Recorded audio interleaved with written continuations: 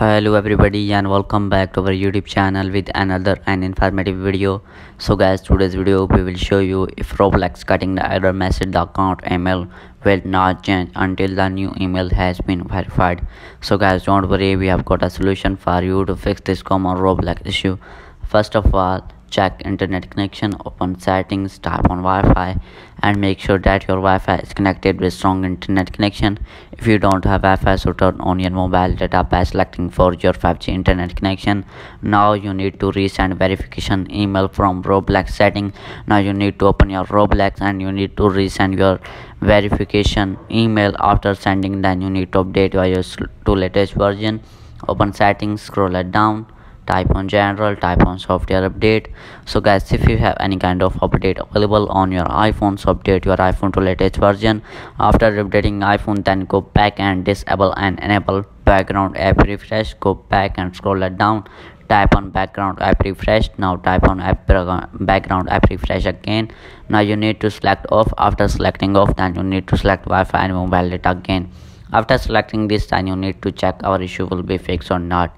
If still our issue not fixed and these buttons are not working well then i tell you the second method. The second method is update roblox to, to latest version open app store and you need to wait for some seconds guys.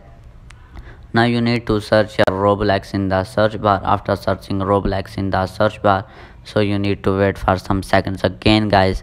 Now open roblox. Now you need to update your roblox to latest version if you have any kind of update available.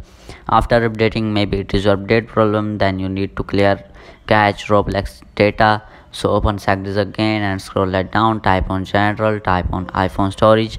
Now you need to wait for some seconds and scroll it down and find the roblox guys so you need to wait for some seconds. So scroll it down and find the roblox guys. Simply where is roblox? So you need to find it.